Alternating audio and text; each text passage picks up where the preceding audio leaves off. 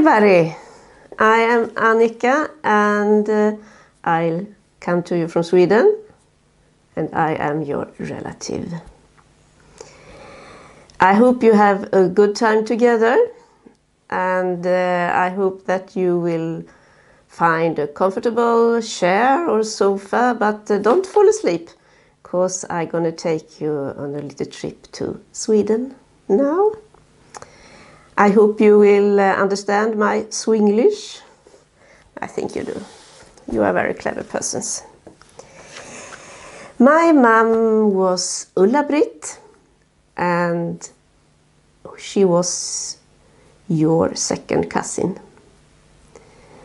Uh, on other side, our side, we have had one more generation than you, because I think Tekla started family earlier than uh, Emil did and uh, that's the reason. Uh, I have some pictures. Yes, my grandmother was Julia, and she's sitting here behind me. And uh, she was born 1896 and died 1980. When she became 80 years old, she had a big party. And uh, here you can see her and her siblings, the brothers Ivan, Manne and Helmer, and her sister uh, Helga, who was also called Lisa. Their oldest sister Elsa didn't, uh, she was dead at the time. 1976 was this. And I have another photo here with uh, my mother and her sisters and uh, grandma Julia. My grandfather was married twice. Her, his first uh, wife died, so I don't think try to. Uh, so uh, Paul, Eskil, and Birgit was from his uh, first marriage. But Kerstin, Rune, my mother Ulla-Britt, uh, Gunnar, and Gudrun is your second cousins. The only one who is alive now is uh, is Gunnar. He is uh, 91 years old. He was born 1933. And they have a lot of children, so you have many relatives here in Sweden. Uh, I'm gonna take you on a little journey now. And here it starts.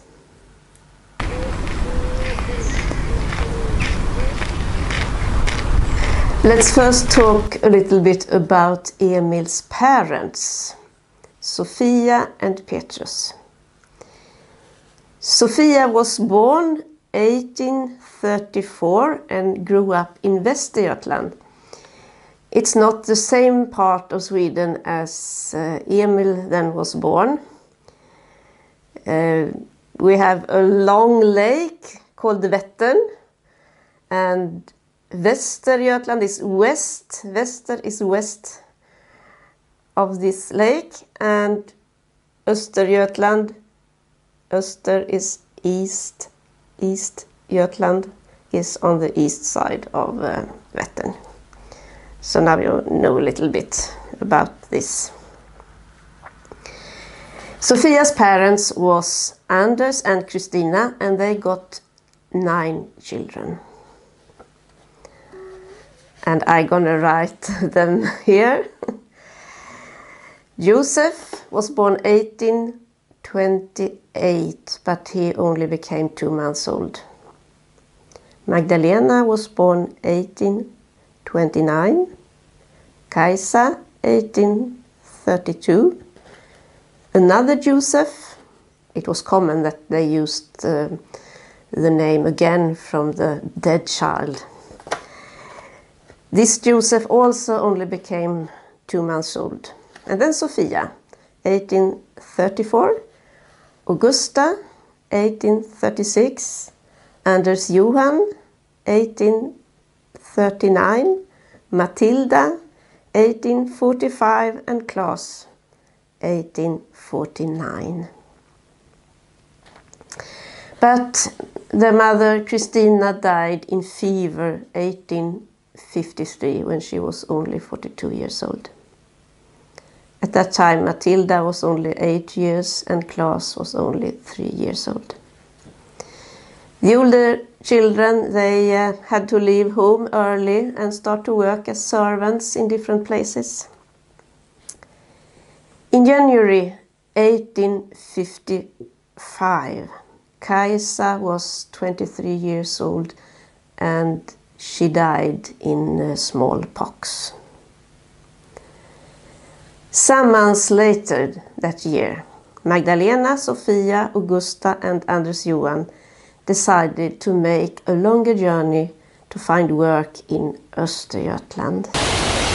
Now I am at Göta kanal, Göta canal, and at the place where there are seven locks called Bergs slussar, Bergs locks. And uh, this canal was built through Sweden down to Göteborg. And I'm going to show you on the back here. Göta Canal was uh, built from the Baltic Sea. Here. There is the city Söderköping. Here is canal. There is the lake Roxen and now we are somewhere here just west of the lake in Bergs locks and the Könningrot going here through another small lake and to this big lake Vättern. And I now live here. So the boats were going through the canal over Vättern and then on the other side it was a canal again. There is one lake and then it was going to this bigger lake, Vänern. And then through the river here down to Göteborg, Gothenburg. And Sofia, she lived in the area here somewhere. Uh, just before she went to uh, Bjärka she was having an employment here.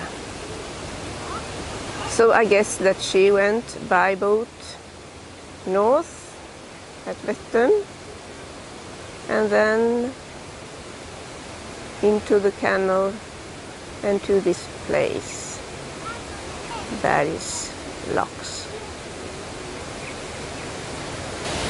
I think that Sofia came here going by boat from the other side of the Lake Vättern.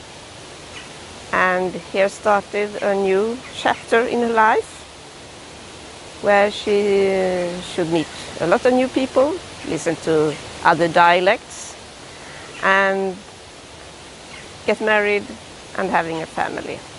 And here in Östergötland, Emil was born.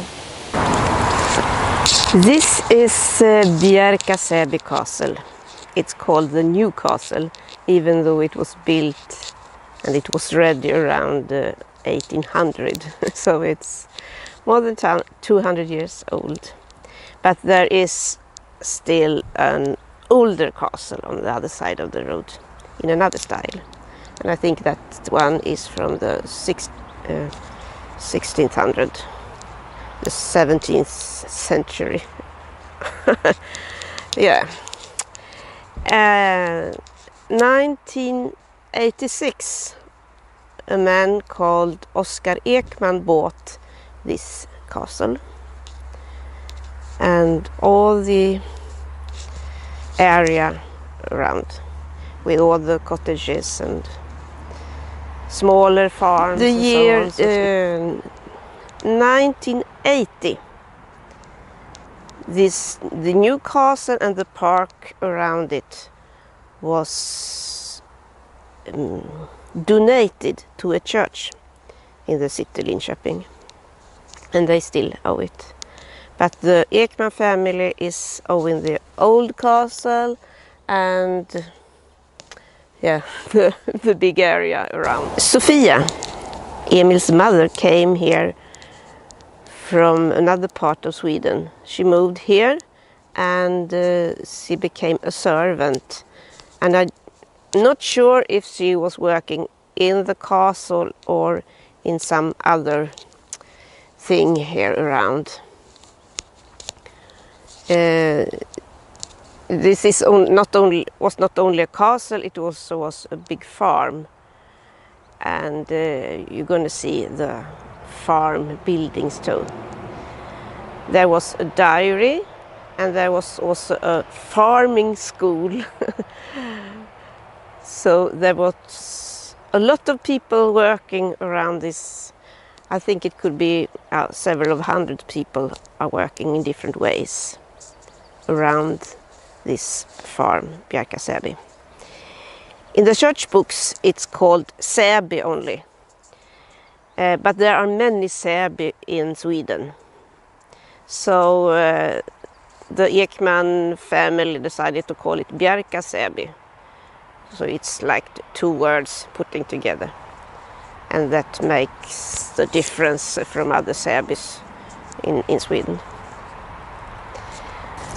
So now they had come to Östergötland with the boat and they went with horse and wagon south about uh, 35 or 40 kilometers to Bjärka And Bjärka is in the Vist parish. Next year, 1856, Anders, the father of the siblings, decided that he and the two youngest uh, children also would go to Östergötland, working on a farm, but in the other part of uh, this area, uh, in the north of Östergötland, uh, on a place called Tåby. And uh, his children Magdalena and Anders Johan, who was in Bjärka in Vist parish, they decided to also go to Tåby and be together with their daddy and the youngest sister's uh, siblings. They thought it should be so, but the church book says that Anders and the small children got their certificate of moving from their priest in their home parish 16th November 1856. But the same, day in Tåby, the church book there says that Magdalena dies in cholera typhus. And there about her, the church book says she was daughter of the recently dead Anders Jonasson. We don't know where Anders, her daddy, where he died or how he died, because we can't find him in any church book. He was like between the different places and so sad. I think the youngest ones, Matilda and Claes, stayed in Västergötland, maybe together with relatives. I have not found them during these years yet. But later, when they were older, they also came to Östergötland and uh, came to the same area there Sofia was. Four years, uh, three years later, 1859, Sofia's brother Anders Johan, who had been for a year in Tåby, he is back in Vist Parish, but he was sick. And he died only 20 years old in a breast sickness. More sorrows. But life's, life goes on. Sofia got to know Petrus Pettersson. Who was he? let's look at his parents, parents first. His father was also called Petrus Nilsson. He married Annika, also called Anna, and they got Inga, 1816, Nils Gustav, 1819, Sofia and Katarina, 1822. There was twins. Carl Magnus, 1824, but he died only some months old. Another Carl Magnus and Katarina, 1826. One more pair of twins. At that time, uh, Anna died when they, the last twins were born. She died when she gave birth. And Petrus was alone with all the children. But in uh, his home, also his mother in law was living with them, and also his sister in law, Anna's sister, Eva-Lena. And Petrus needed a mother for the children, and he asked Eva-Lena to marry him. That was okay for her. But it was not that easy because she was his sister in law. They had to get special permission for marriage, even though they were not related by blood. But they married, and Eva-Lena also got many children. Anders Peter, uh, 1828, but he died early. Petrus and Anders, 1830. Twins. But they also died. And our Petrus, Sophia's husband, 1831.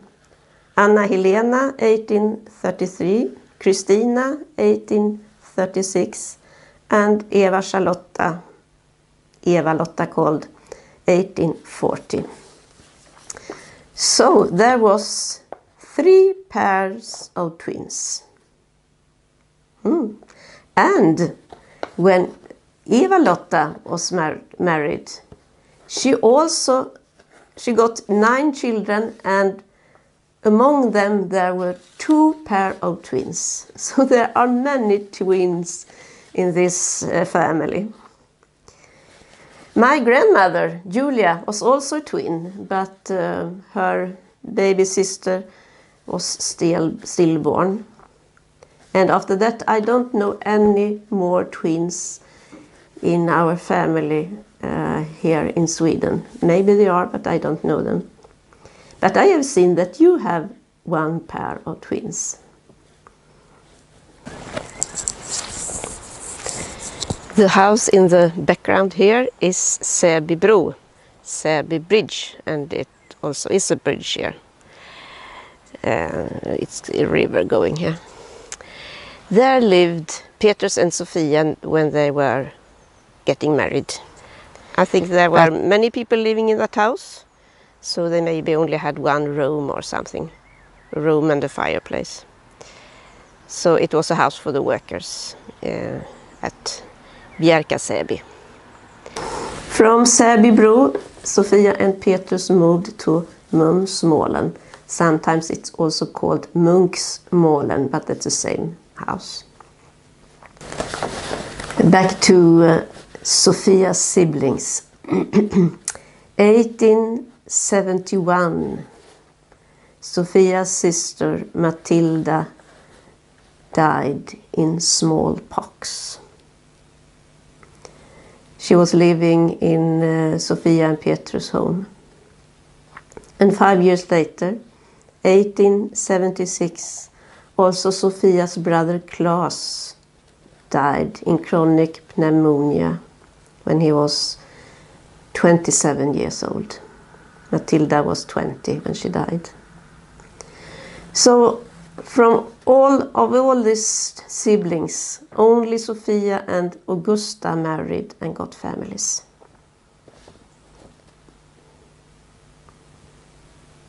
Now let's take a walk to Mumsmålen.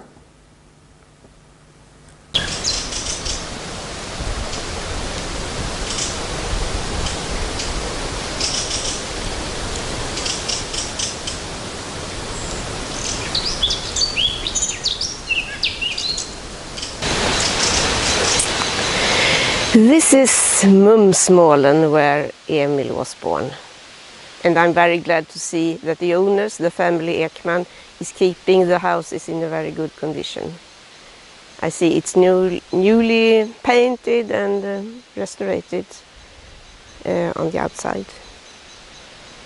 Uh, most of the small cottages in this big area is summer houses but I'm not sure if uh, there are some family renting it because it looks more like if um, they lend it out to um, scouts or something for a weekend or something like that. Uh, I don't know, I just guess. uh, so here Emil was born and he lived here almost all the time until he left Sweden. His parents, Petrus and Sofia, came here uh, when they were in the beginning of the marriage. They lived at another place just in the beginning. When uh, Petrus and Sofia were, were getting older, they, their daughter Tekla, my great grandmother, and her husband was living here for some years. And I'm going to try to translate the contract, the, the paper which says uh, what Tekla's husband, Lars August, had to do for work for the whole year, just for living here and uh, I, I make a try to make a translation. It was a lot of work to do at the big garden, the, the big farm. Uh, they should um, deliver milk for the dairy there and so on.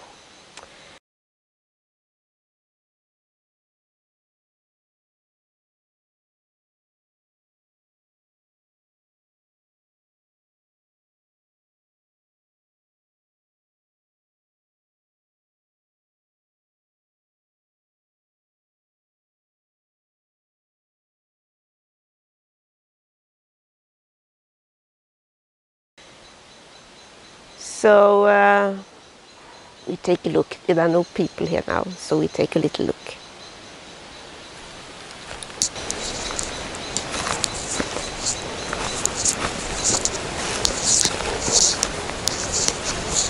I guess this big stone was here all, also when Emil was a child. He maybe was climbing here on the stone. Children like to climb.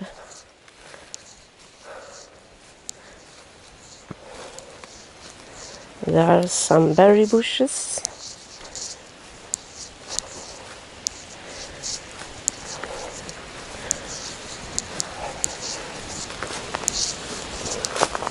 See, it looks very nice.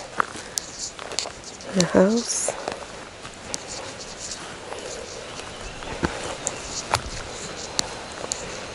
Here is a little fireplace. I guess children and the leaders are using that.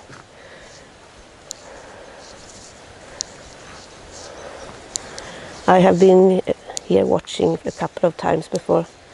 The first time I was together with my grandmother and uh, one of my uncles.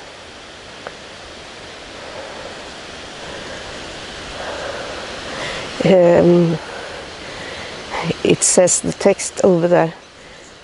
It says uh, dining hall, dining room. And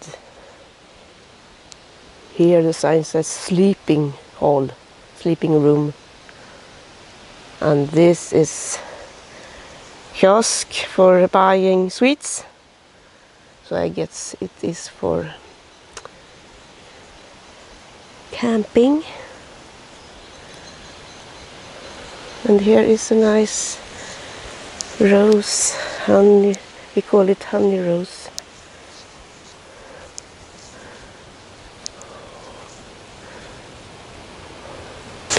The berry bushes here are black currant, I think you call it.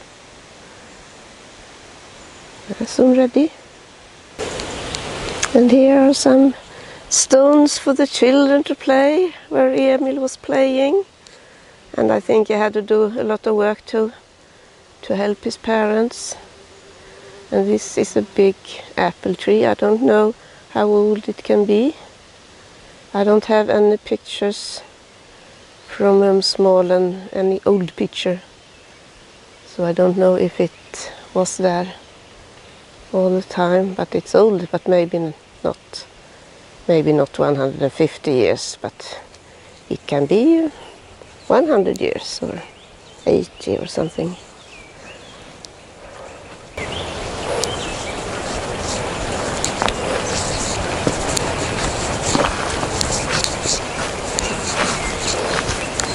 On the back side, it's only one window.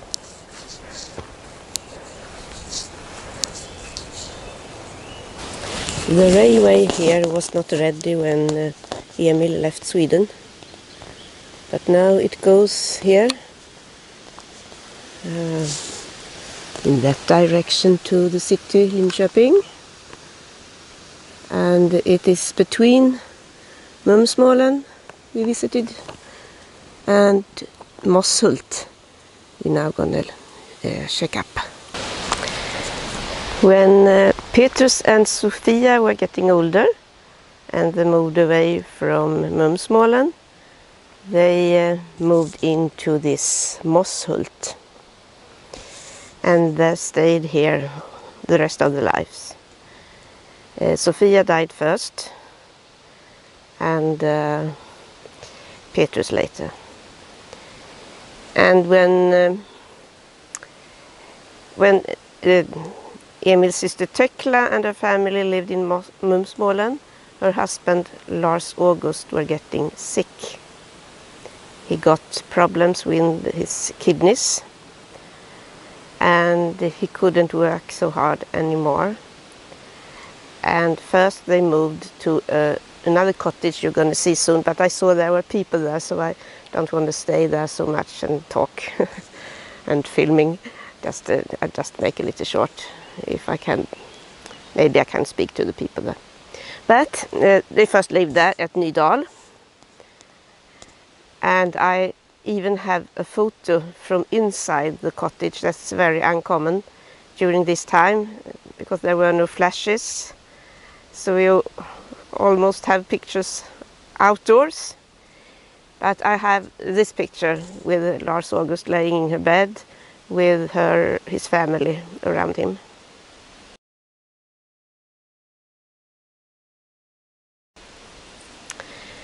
But when he died, I think two years after this picture, Tekla and the children moved also here to Mosshult, where Petrus was still, still living and living. He lived here and he was alive, yes. and, but he died, I think it was only one year later, he also died. So Tekla and her family, the six children, were living here. The daughters, the oldest daughters, were getting older and moved away, but she uh, lived here. I'm gonna check the year she moved away, um, and she got that help that she could work, clean the schoolhouse. As a widow, she got got help to get some money in that way. But the Ekman family was also very nice to all the people who lived around here. And one day the old wife Ekman came here to Mosshult visiting Tekla and the children. And um, Tekla was uh, weaving a material. And this wife widow wife Ekman asked, Can I buy, buy that material when you are ready? Oh, Tekla said, Oh, yes. Oh, yes, ma'am. and when um, the wife Ekman came and paid for the material, she gave it back to Tekla and said, Now you shall make clothes for your children of this material.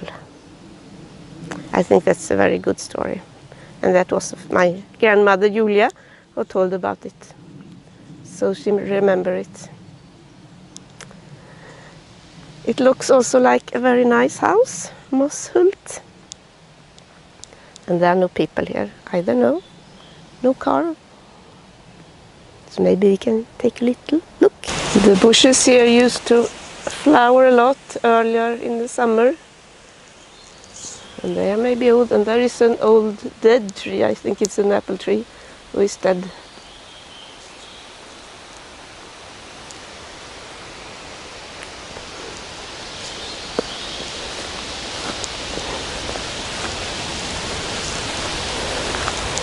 And uh, I have the picture of Tekla and the children sitting outside here.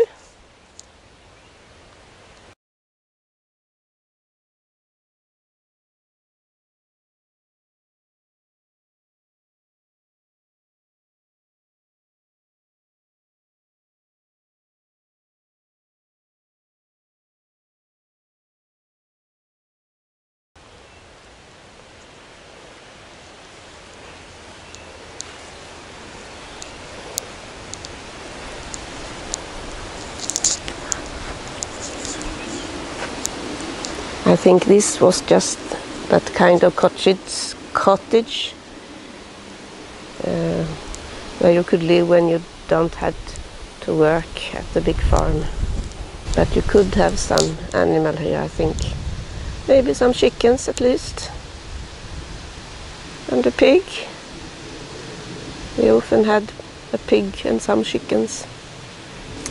This is Nydal, New Valley in, in English, where Tekla and her family moved when Lars August were getting sick. I don't. I think they lived only a couple of years here, and then they moved to Mosshult.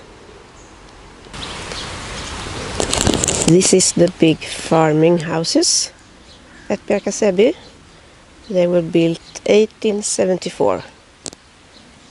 And they are very big. I don't know where Emil worked before he left Sweden, but maybe here. Maybe had some work here.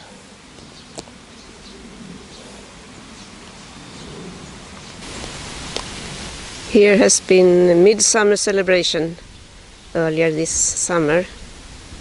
The big pool with leaves and flowers are still there, but it's very brown now. Sofia and Petrus got seven children. Karl Alfred, who uh, only lived a few weeks, 1862. Ada, Ada, born 1863. She grew up and married, but when she got her first child, she died in childbirth.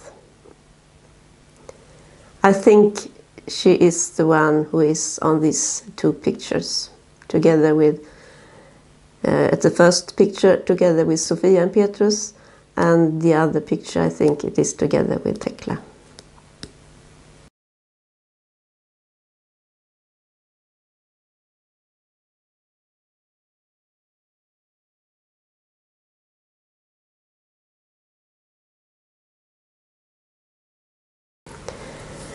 The third child was called Henrik, but he also died early. Uh, he was born 1865 and he died 1867. And then was Tekla born, my great grandmother, 1869. And uh, Per Walfrid, 1872. And I have, I have no contacts with that uh, branch of the family. And your grandpa, Emil, 1875, and Beda, the youngest one, 1877.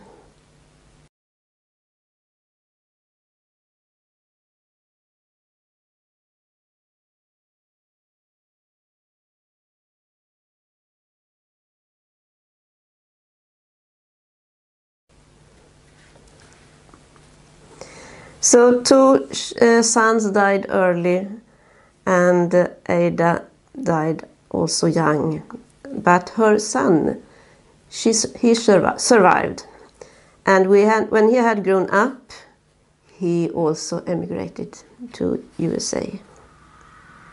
Emil was the only one of his uh, sisters and brothers who um, who went to America. Um, he was not the only one in this area of Sweden that emigrated. I have a book here, and it's called Emigrants from Vist, 1850 to 1930. And here is the map of, uh, of the parish. And this book says that 568 persons, including children, emigrated during these 80 years to USA. And this was only one parish in this area. I think north-south is about 15 kilometers and east-west is also about 15 kilometers maybe more or less. But there are many more parishes in the area uh, where also I grew up, and it was the same from all parishes. A lot of people emigrated.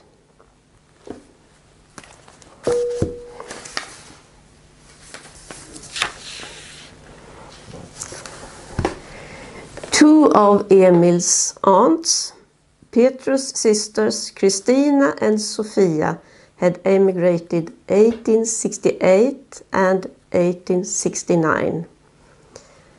These years was hard times in Sweden. There were uh, bad harvests. One year was very dry and one year was very wet. And there were very bad harvest. Christina and Sofia, they settled down in Swedona in Mercer County and Orion in Henry County in Illinois. And together with a lot of other persons from this area. So they already knew a lot of them. And also um, uh, Petrus' brother Carl Magnus had four children. All of his four children emigrated during the years 1878 to 1888. And they also came to Orion, Galesburg, Knoxville in Illinois. And as you know, Emil left Sweden 1895. And he also had another cousin, Augusta's uh, son, Carl Oscar Milton, he also emigrated uh, 1893. It was two years before Emil. And he married in Cook in Illinois. So you have many relatives uh, around you that you maybe don't know. Uh, so you have to find them and uh, get in contact with them if you want to. Yes, it was a lot of names and uh, years and stories, and um, there are many things to talk about about uh, my family and Sweden, but we take that another time. If you want to, you can uh, be a part of a Facebook group that I have called Descendants of Sofia and Petrus Pettersson, and uh, I hope that you want to be with us there and I'll also try to get uh, a lot of your relatives uh, invited to this group and uh, there you can um, tell us who you are, your name and uh, who your parents are and so. And I will do the same with my sisters and their children and my cousins and a lot of people. We are a big extended family, both in uh, United States and here in Sweden. Have a good time um, this weekend and I hope that we will be, be in contact more during the days who are coming. Bye bye!